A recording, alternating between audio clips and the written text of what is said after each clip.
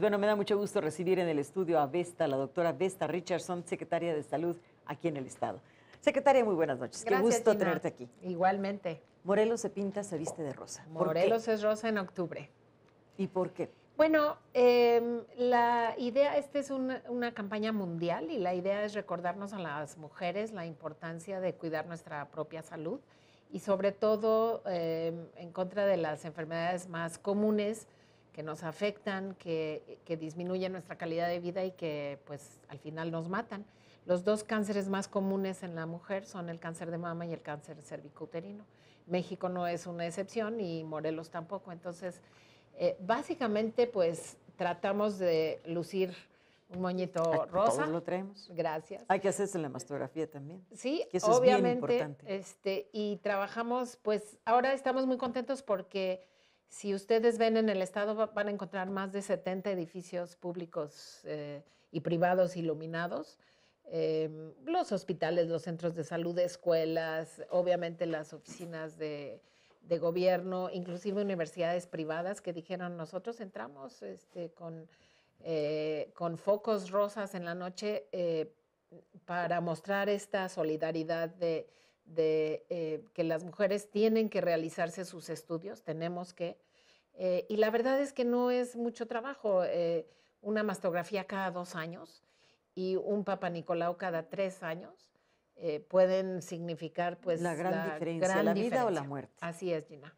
Ahora, em, dentro de, esta campaña no es solo que los edificios sean rosas, sino que también hay toda una serie de programas con mastografías que son totalmente gratuitas y exámenes también. Por supuesto, todas las instituciones, eh, IMSS, ISTE eh, y Seguro Social ofrecen mastografías y obviamente servicios de salud de Morelos, ofrecen mastografías totalmente gratuitas todo el año.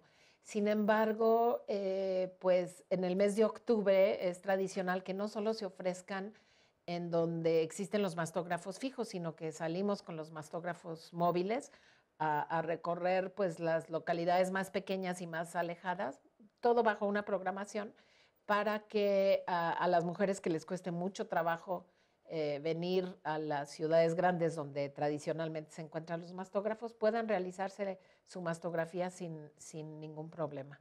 Em, hay un teléfono 01800 que es 772-6872 que les contestarán de lunes a viernes de 8 a 8, 8 de la mañana, 8 de la noche, es el Capasam y ahí les pueden dar información de dónde se encuentra el mastógrafo más cercano eh, para que no tengan que transportarse, pueden dar, eh, hacerles citas telefónicas. Es sencillo, no es doloroso, hay que ir a hacerlo, vale la pena en verdad. Los mastógrafos modernos ya contamos con, con dos muy hermosos, eh, digitalizados, no son dolorosos y tarda uno menos de 10 minutos en realizarse el estudio.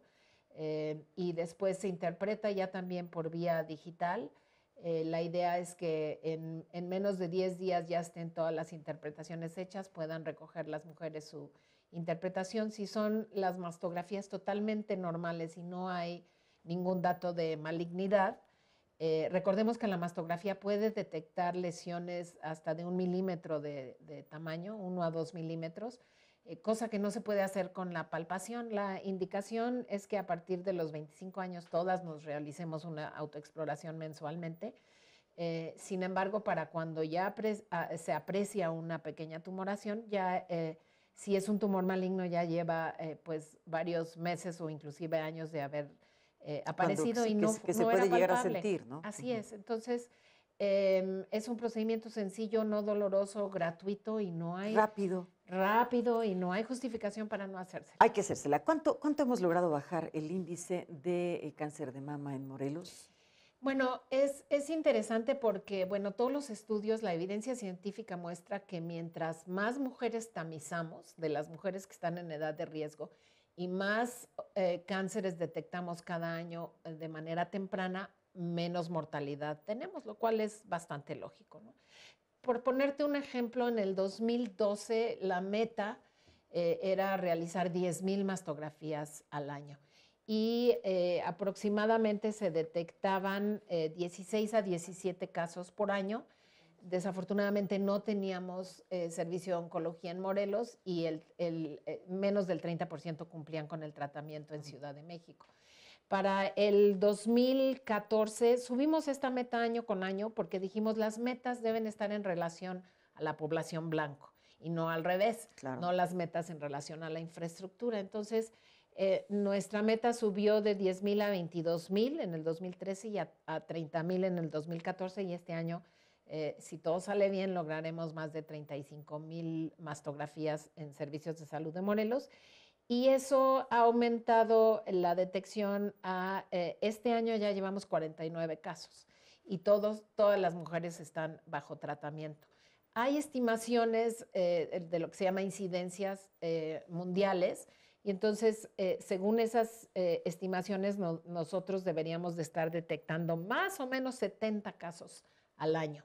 Eh, y em, si tamizamos al 70% de la población blanco, nuestra meta debe ser 55 mil mastografías al año. Al año. Sí, para que un año le hagamos a 55 mil y el siguiente año le hagamos a las otras 55 mil, que son el 70% de las mujeres entre 40 y 69 años de edad. Tenemos ya también servicios de oncología en el Estado, que antes no teníamos y eso es una gran diferencia. Sí. Y hace la diferencia, en verdad. Absolutamente. Eh, a partir de noviembre del año pasado, que se obtuvo la acreditación eh, para poder otorgar la, quimioterapia y el manejo eh, multidisciplinario a mujeres con cáncer de mama y cáncer cervicouterino, eh, pues a partir de esa fecha eh, se han manejado, existe un grupo aproximado de 120 mujeres, de las cuales 85 eh, padecen cáncer de mama y 35 cáncer cervicuterino, que están recibiendo ya toda su, terapia, incluyendo radioterapia, en el estado de Morelos sin tener que trasladarse a México. Y muy contenta también te puedo decir que la mortalidad también descendió eh, de un promedio de 100 defunciones que teníamos al año por cáncer de mama. El año pasado tuvimos 70. Entonces es un descenso del 30%, lo cual nos tiene muy contentos. Pero esto es lo que muestra la evidencia científica. Mientras más em, estudios se realizan en población blanco, más eh, patología vas a encontrar y la vas a encontrar más tempranamente. Claro, que es lo que realmente estamos buscando. Absolutamente. Si está ahí la patología, bueno, ya está, pero yo creo que está en uno ir a hacerse los exámenes correspondientes precisamente para atajar esto a tiempo. Las posibilidades de sobrevida son mucho mayores si se detectan de manera, temprana, cosa que no hemos podido hacer con el cáncer cervicouterino. Entonces, de ahí la idea de juntar esta campaña de Morelos es rosa, no solo para cáncer de mama, sino también para cáncer cervicouterino. Morelos es el estado con más alta prevalencia y más alta mortalidad por cáncer eh, cervicuterino de toda la República Mexicana. ¿Y Cada año estamos con Chiapas. Pues a, que llevamos muchos años de, rezago en estos tamizajes y a que no vienen con nosotros las mujeres que deberían de estar viniendo. Año con año regresan las, las mismas. Eh, hacemos aproximadamente 49 mil estudios de Papa Nicolau cada año, que no, que, no son pocos. es un examen muy relativamente sencillo, claro, y ahora ya se hacen todos los, eh, los 204 centros de salud, en la mayoría lo, lo realiza enfermeras o doctoras eh, del sexo femenino para que no nos dé vergüenza y, claro. y no nos dé miedo y no es un examen doloroso, es un poquito molesto, pero también es muy rápido eh, y tenemos citotecnólogos que pueden interpretar, leer estas citologías. Si hay algo anormal, regresamos antes de los tres años. Si no hay nada anormal, podemos tener la confianza de que cada tres pues, años regresemos. Apostemos por la vida y hagamos todos los exámenes que nos tenemos que hacer. Así es. Secretaria, gracias, gracias por habernos acompañado esta noche y gracias por invitarnos a la campaña de Morelos es Rosa. Todos somos Morelos, todos estaremos pintados de rosa en este Así es. Gracias. Muchísimas gracias. Hacemos una pausa, regresamos con más.